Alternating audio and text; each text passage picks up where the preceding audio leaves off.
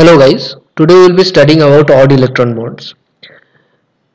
This part is a little bit tricky and uh, very often I have seen that uh, people face a little bit problems with this one. That is why I have made this video to make this clear to you guys.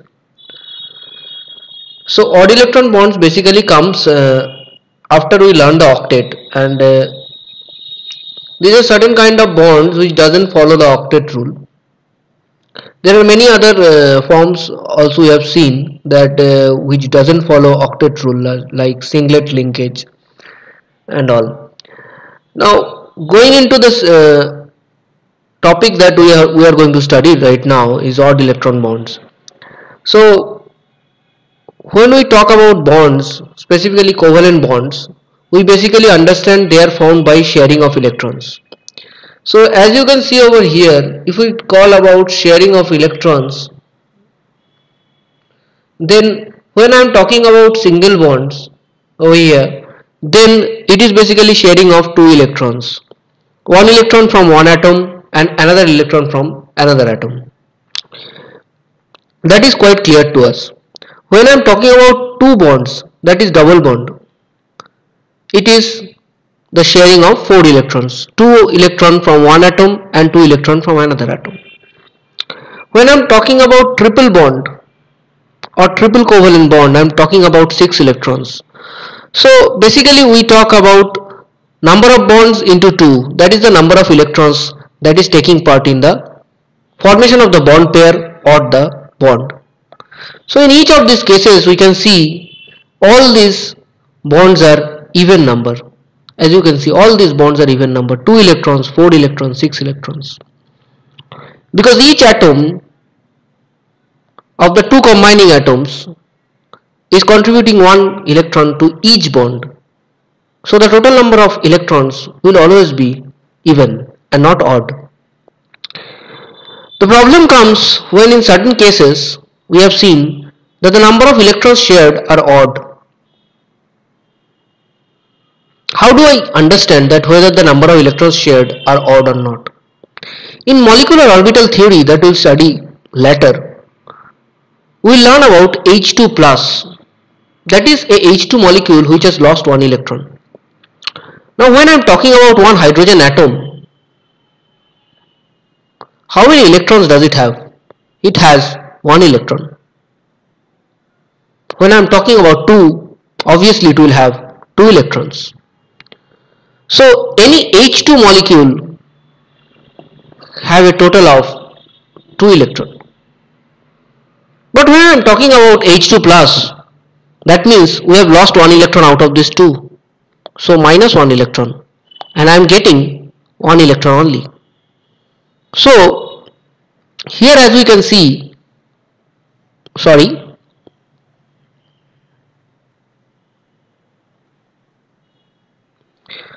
We are talking about H2 plus. How many electrons does it have? It has one electron. So here we are talking about a bond where the bonding is involving only one electron. This type of bond is called one electron bond. And obviously one is odd and this is the simplest odd electron bond that we can have. There are two important corollaries that we get from this. If we see or analyze what is the bond length of H2 plus, we'll see it is having a bond length longer than H2. And also this molecule is less stable than H2. Now why it is so? While we talk about the bonding in H2, it is basically like this. So here the bond is basically involving two electrons like this sorry two electrons one from one hydrogen and another from another hydrogen. Both the electrons are also attracted by the nucleus of both the atoms. Now when I am talking about electrons that is only one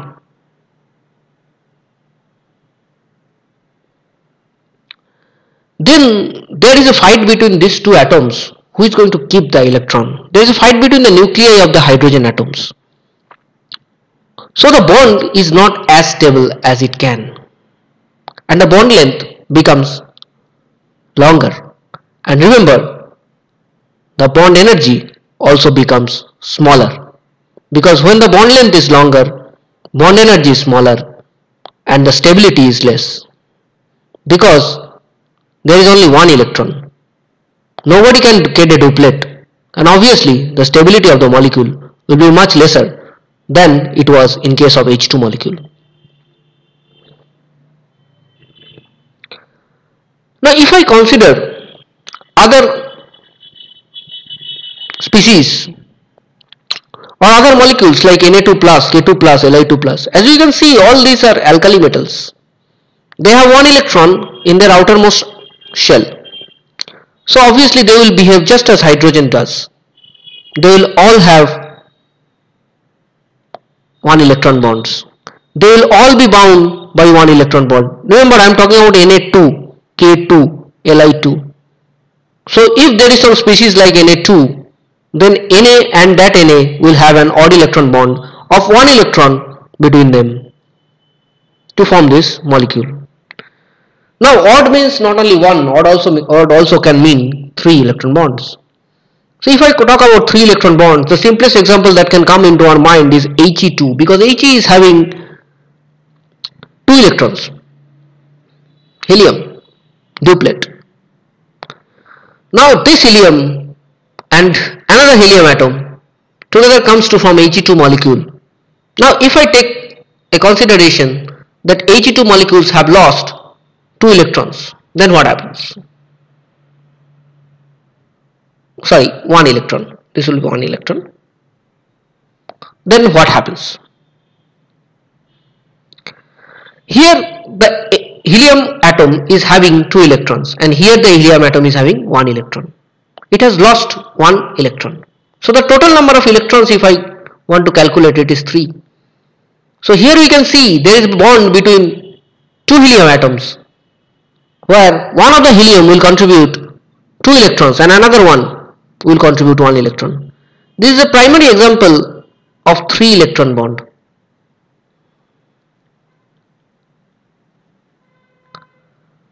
Sometimes it may happen that this helium is contributing 2 electron and this helium is contributing 1 electron as this helium has, has lost the electron that is contributing to the positive charge in the left hand side helium.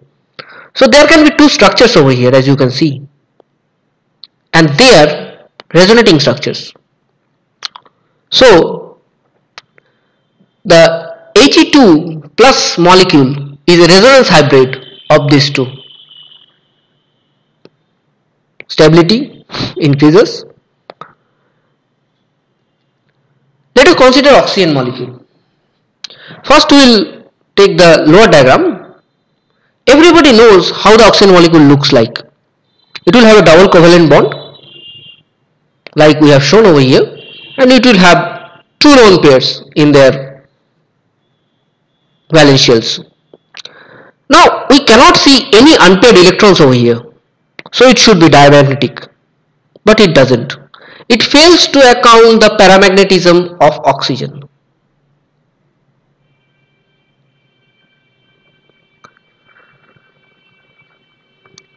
Clarify this, Pauling suggested a different structures like this. Here you can see one is normal bond between two oxygen atoms and there are another two 3 electron bonds between the two oxygen atoms. Now this one is clearly having odd electron bonds, two odd electron bonds in the molecule which explains the paramagnetism. So oxygen molecule is very important with respect to odd electron molecule because here we can see oxygen is basically having two odd electron bonds and one normal bond. So that explains the paramagnetism of oxygen molecule. Now if I count the number of electrons 1, 2, 3, 4, 5, 6, 7, 8, 9, 10 and this bond will have 2 electrons. So there are total 12 electrons and each oxygen molecule, each, ox each, oxygen atom is having 6 electrons in its valence shell. So there are total 12. So that matches. Let us study some other molecules that also have 3 electron bonds like NO. If I consider NO, then there are two atoms. One is nitrogen and another is oxygen. Now, for, now how many electrons does oxygen have? It has 6 electrons in its valence shell. So there will be first two double bonds and one 3 electron bond. Now if I go in normal then nitrogen is having 5 electrons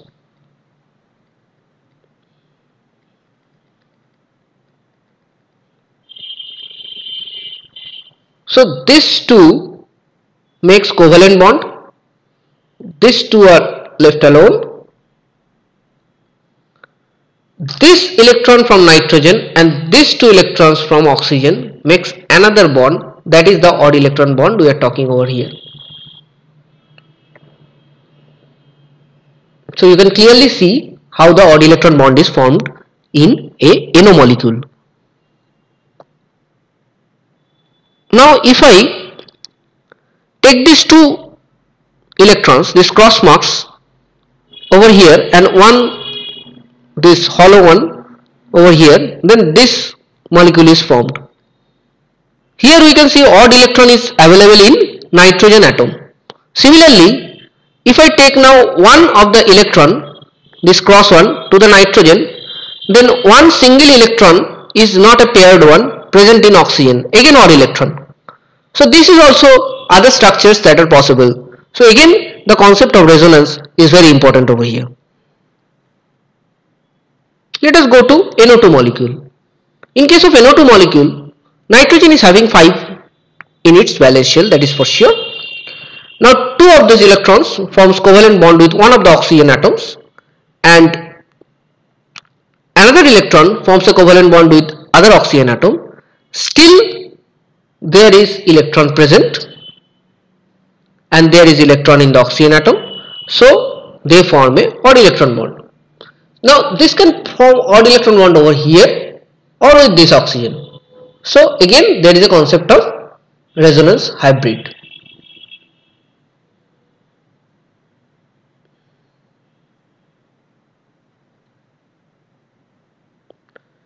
in case of NO2 molecule this is a very unstable structure due to the odd electron bonds and it, is, it will be having a fractional bond order. That is why it can easily get dimerized. Coming to ClO2. Here if you see there is a coordinate bond between the chlorine and oxygen. There is a single covalent bond between oxygen and chlorine and there is again a 3 electron odd electron bond between chlorine and oxygen. This can also have two structures which are resonating structure and the resonating hybrid will be the real structure of ClO2. Superoxide ion O2 minus. This one is having again one odd electron bond and one normal bond in between two oxygen atoms. So from here we got some idea about the odd electron bonds and how is it formed.